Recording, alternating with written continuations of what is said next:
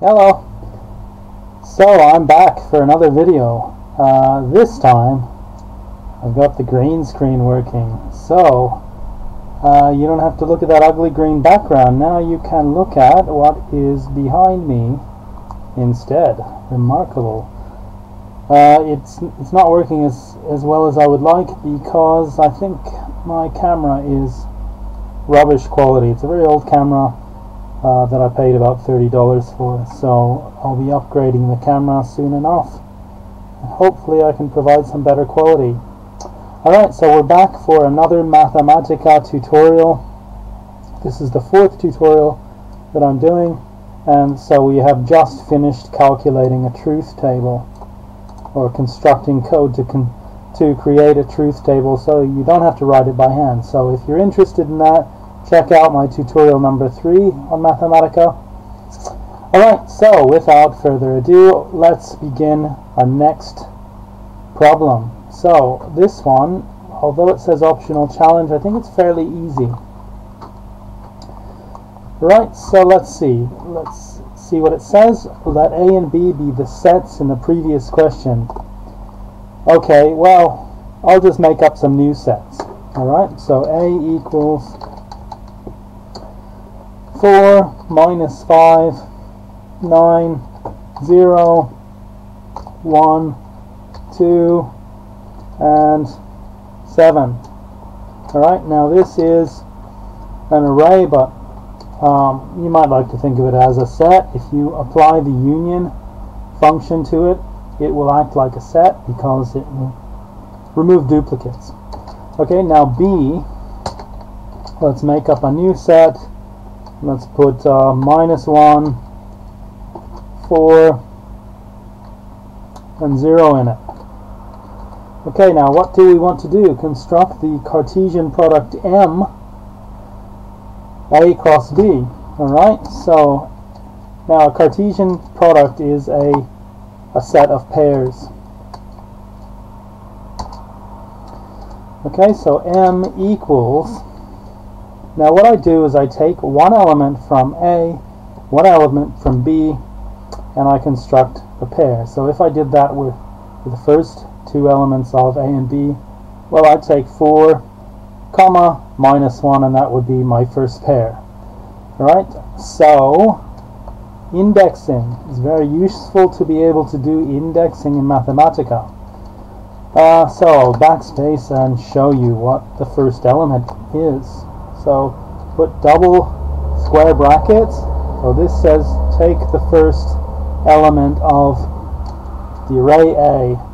Okay, shift enter and you can see it's 4. No surprise. Right, what about the first element of the array B? Okay, it is minus 1. Very good. Okay, what if we change this to second one, well, we did 4, 4, wouldn't we? Yep. Okay, now I can um, backspace, okay, and put in a comma, and I want to convert this into a pair. And now I have a pair, let's see, yep, the pair 4, 4. Right, so next, next we want to make this an arbitrary element of the array A. Okay, so that, let's just say the jth element of A and the kth element of B. Alright, so if I execute this now, it'll complain. Alright, so there's a problem. So that is because uh, J and K don't have specific values. Okay, so now I want to tabulate. A table. And then I want to tabulate over. What does the question ask? Alright, so J will go from the first element to the last element. But if I want to, I can just put length of A. And then close my square bracket. Alright, so I also want to do the same with K. k goes from 1 to the length of b. Okay, so this should be the Cartesian product. Alright, so I'm supposed to call this m. m equals this list of pairs. And then the question asks for us to display this as a matrix. Alright, so then I will just press enter, go to a new line, matrix, form, m, and shift and enter and have a look. So now I have a matrix containing all of these pairs. Alright? Okay, next, uh, which is the last part, and this is incredibly useful. If you know or use LaTeX, so LaTeX is a document preparation uh, system which is great for typing up mathematics. Okay, so if you are writing an assignment in maths, a maths assignment or a thesis, then you want to use LaTeX. It's much, much better than uh, doing the same in Microsoft Word once you get the hang of it. Alright, so uh, let's see, what do I do? I select this, so it's all in blue. I've selected it, left clicking and, and going over it with the mouse. Right now I'm going to right click on the blue and copy as, right, copy as, and then I select LaTeX copy as LaTeX. Okay, now, if I go and paste it in a new cell, paste, well, you get a bunch of code, right? What this code does is it, it is code for constructing a matrix in LaTeX, alright? So I have, over here on my other screen, I have uh, a LaTeX file. I'll show you. All right. so this is WinShell. I use WinShell and MikTeX. And I'll make it a little bigger so you can see. Alright, okay. Now I'll go under here where uh, I'm writing. And then I will just um, I'll paste paste the LaTeX that I have there. Alright, so now I need to, to tell LaTeX that this is mathematics. So just let's go double dollar sign or, or M equals this. And then I'll put dollar sign, dollar sign, it goes pink. And I'll go down to the end of that array. Dollar sign, dollar sign again. Alright, and next I'm going to press the PDF LaTeX button. Alright, now I'm compiling this. Uh, let's see, it's, it's saying there's an error missing dollar sign somewhere. Oh yeah, I put the dollar sign too too early. Okay, so it's got to go after the right bracket. Alright, I'll do that again. Compile with PDF LaTeX button. Okay, now no complaints. Alright, and so I'll uh, open it up. So this is a, a folder. Alright, so it ends up here. And I'll show you what's been produced. Alright, so exactly exactly what we we had there, but it's in a in a PDF document, so done with LaTeX.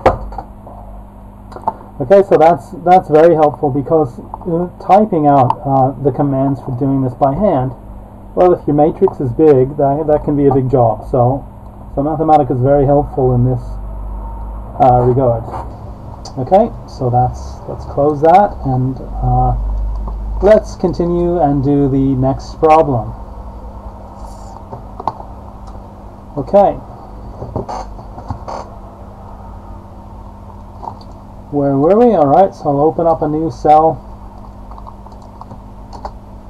and I'll comment that we are doing question number 12.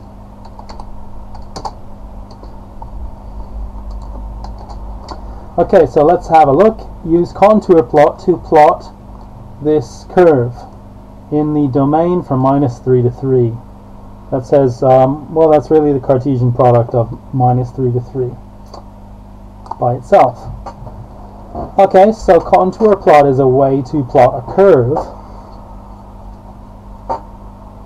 Um, yeah, so I'll just do it. Contour plot. Alright, and then I'll enter the equation.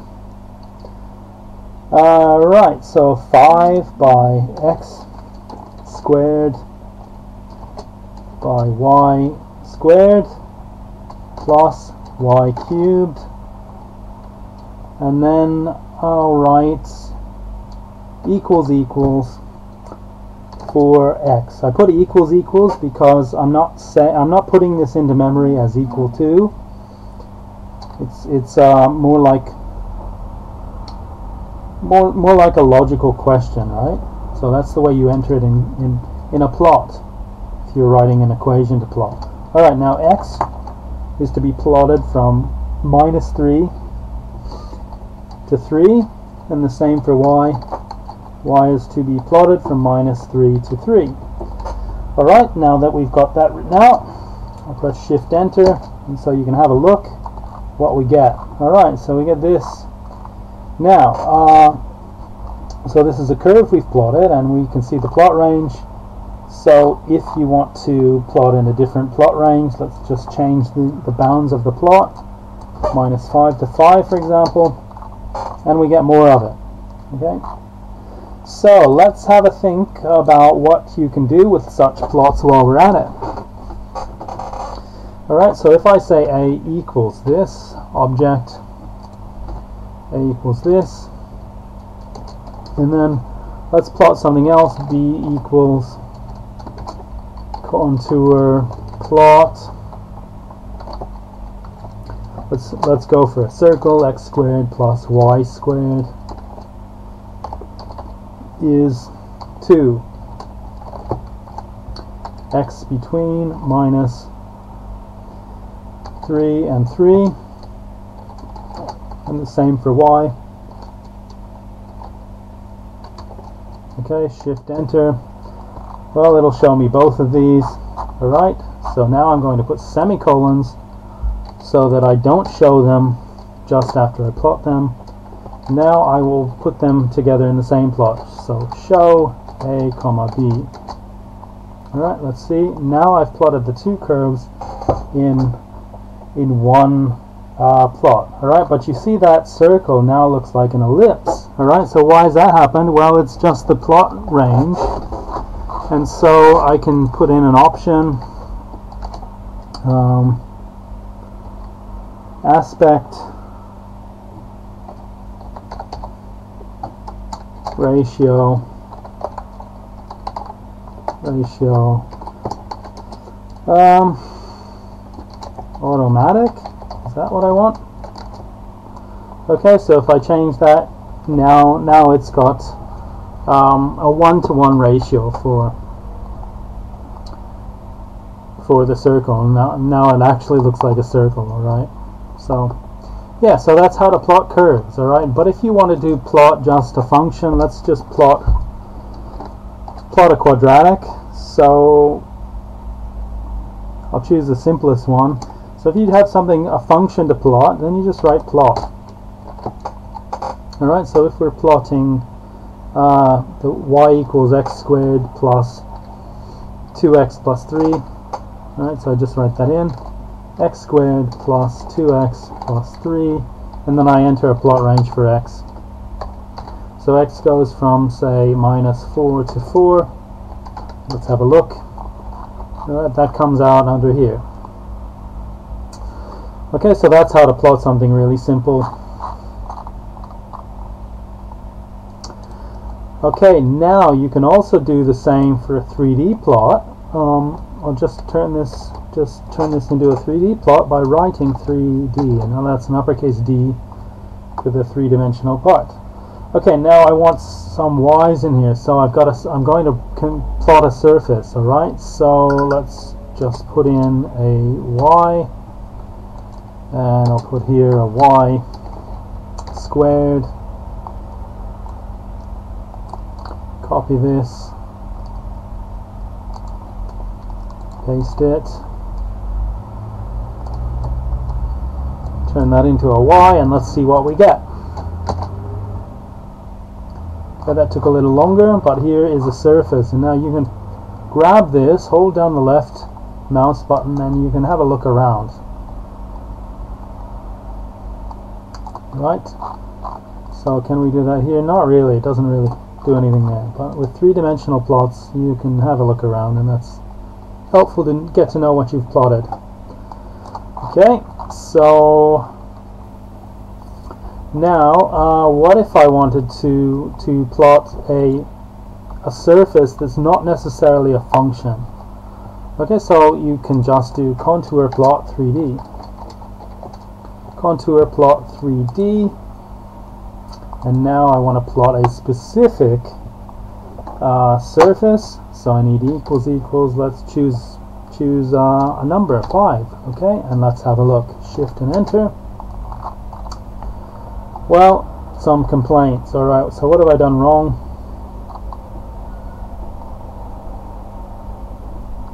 Yeah I'd have to look in the help file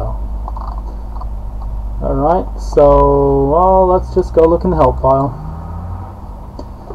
contour plot 3D Okay, so I need to specify the Z value as well.